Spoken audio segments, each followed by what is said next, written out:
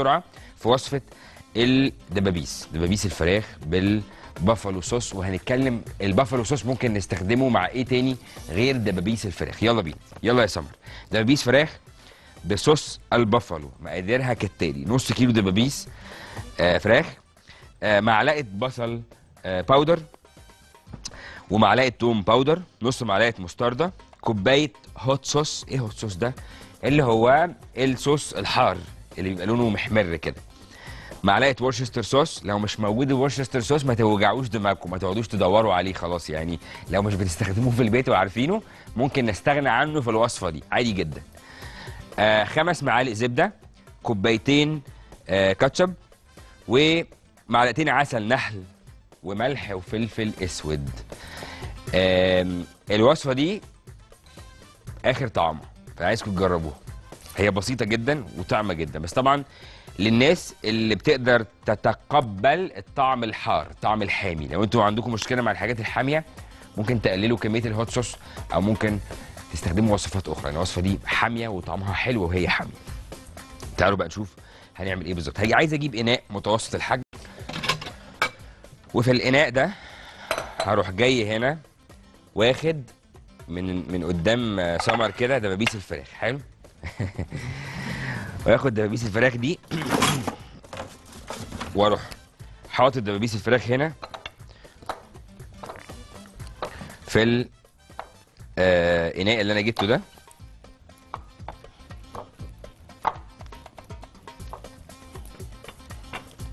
وبعدين هروح جايب لا هعمل حاجة تانية بقى. عايز أجيب إناء أوسع. ليه؟ عشان أعرف أقلب براحتي. يلا.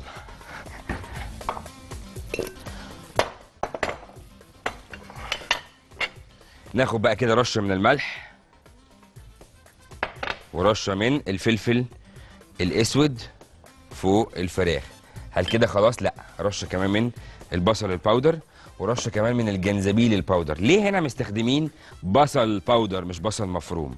وليه مستخدمين جنزبيل powder مش جنزبيل fresh مفروم؟ علشان أنا عايز قوام سلس للصوص. يعني عايز الصوص يبقى عامل زي قوام ال- الكاتشب كده عامل زي قوام المستردة كده مش عايز يكون فيه أي كتل عايزه يبقى بالشكل ده. فعشان كده قررنا انه إحنا نستخدم توابل آه، مجففة مش توابل آه، فريش ماشي. أنا بحسب فيه آه، أنا بحسب ده اسم شخص. تسلمي. طيب يلا. ممكن يا سمر أيوه كده. إحنا طلبنا آه الأستاذة الفاضلة كانت بتكلمنا آخر مكالمة قبل ما نطلع من الفاصل آه كانت طلبت مننا إنه إحنا نقترح عليها شكل مختلف لصدور البط. فقلت لها إنه إحنا بنعمل كده. دي بطاية جبناها خليناها خدنا الصدور وهي نية كده من غير ما نسلقها. عملنا إيه؟ قطعناها آه يعني بعد ما خلينا الصدر وسيبنا الجلد عليه وتبلناها بالملح والفلفل. وبعدين جبنا طاسة باردة مش ساقعة. بنحط صدر البطة على الجلد على ناحية الجلد في الطاسة وهي باردة. ليه؟ عشان ما نستخدمش دهون عشان نخلي جلد صدر البطة يسلي وهو اللي يحمر صدر البطة. هل كده البطة هتستوي أو صدر البطة هيستوي؟ هيستوي جدا. بعد حمرنا البطة من الناحيتين وحطيناها في حمرنا البطة من الناحيتين. لغايه ما خدت لون ذهبي بعد كده حطيناها في الفرن لمدة 10 دقائق كده هتكون صدر البطة استوى وهيبقى طري جدا وحلو جدا.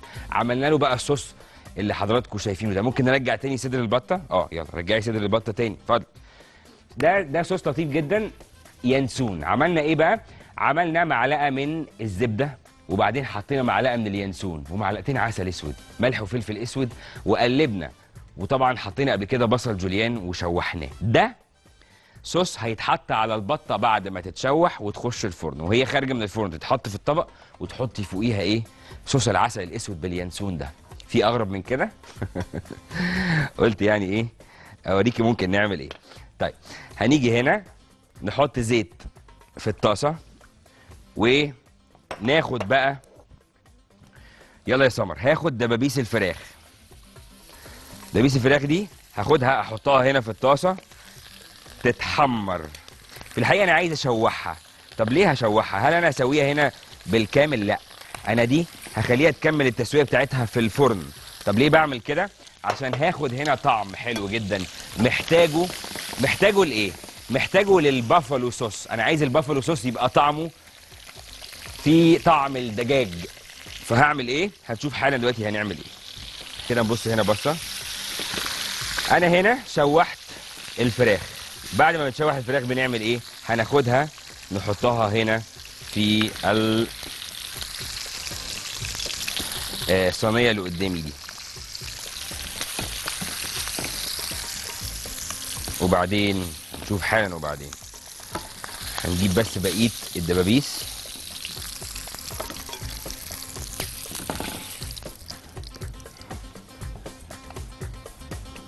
لا ما انت مش هت مش يلا.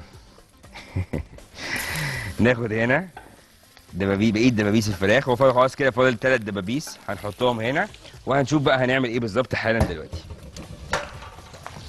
إيه ده؟ صحيح. يلا.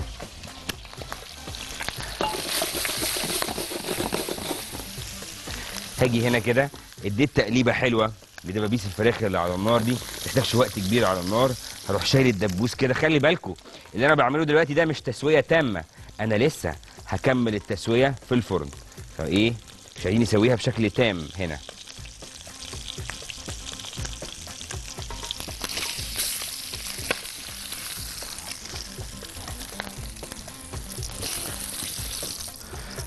يلا بينا. شايفين الدبابيس ال- اللي في ال- اللي في الصينية دي هنعمل فيها إيه؟ تعالوا نشوف هنعمل فيها إيه. هناخدها زي ما هي كده.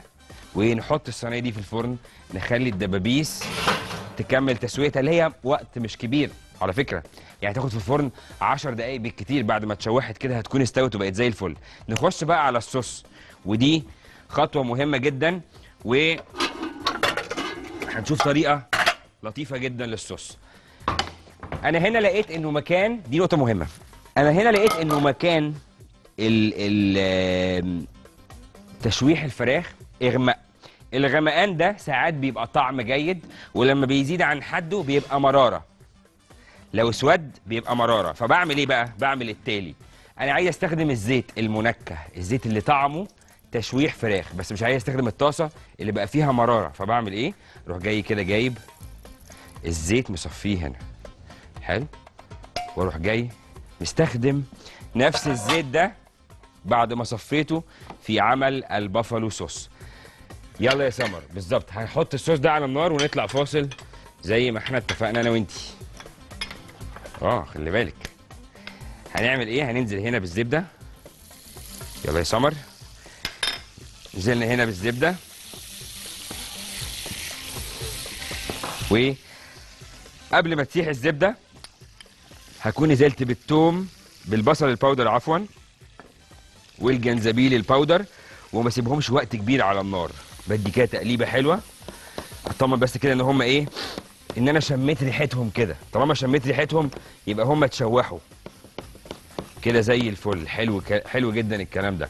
طيب هنعمل إيه بقى دلوقتي؟ دلوقتي نقدر ننزل بالورشستر صوص اللي إحنا قلنا لو مش موجود عندنا هنعمل إيه؟ ولا هنعمل أي حاجة. عادي جدا. الوصفة ينفع تكمل من غير الورشستر صوص. حلو جدا. طب وبعدين؟ تقليبة حلوة كده.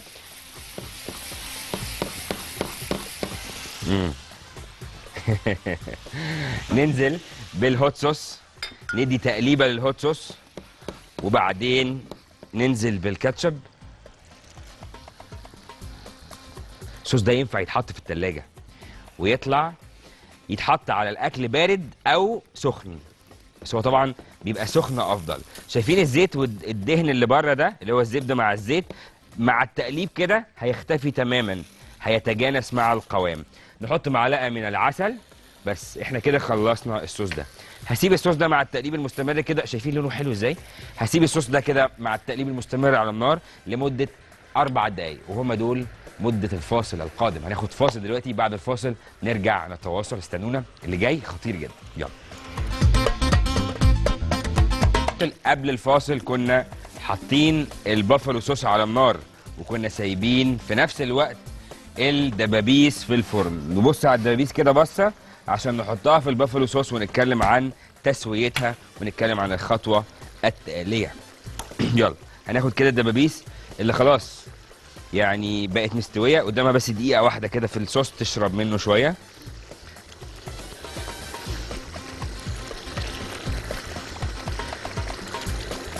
كمية الصوص دي ممكن تكون زيادة سنة لكن إحنا مش هنقدمها بالكمية الكاملة من الصوص دي. هنشوف هنعمل إيه بالظبط ومتأكد إنه الوصفة دي هتعجبكم جدا. يلا بينا.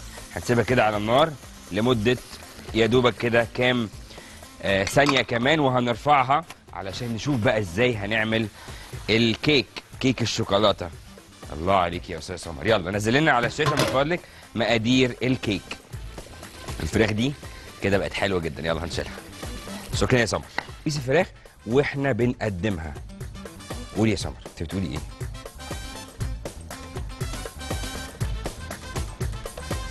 كالعادة برضو إيه؟ يعني سمر تخرج البرنامج أو احمد عبد الحميد يخرج البرنامج فيهم عامل مشترك ان هم عايزين يخلصوا الحلقة بسرعة. لا أنا في الحقيقة ببقى مبسوط جدا ان أنا موجود مع حضراتكم. بس طبعا في زمايلنا في البرامج الأخرى آه، محتاجين انه أنا اطلع حالا دلوقتي. دي كانت حلقة النهارده ودي كانت وصفات النهارده. شايفين دبابيس البافالو صوص شكلها عامل إزاي؟ النهارده عملنا دبابيس بالبافالو صوص زي ما سمر بتوريكم كده وعملنا كمان فتة الفراخ آه بالزبادي وصوص الزبادي وعملنا كيك الشوكولاتة بصوص الشوكولاتة. وكنا محضرين الدقة بس هنقولها لك المرة الجاية إن شاء الله. إحنا آسفين إن إحنا ما قلنا لكيش في خلال الحلقة. دي كانت حلقة النهارده أتمنى إن هي تكون عجبتكم. هشوفكم بكرة إن شاء الله. لا مش بكره اشوفكم السبت. إحنا بقينا سبت وحد واثنين هوا. اشوفكم يوم السبت إن شاء الله. على خير.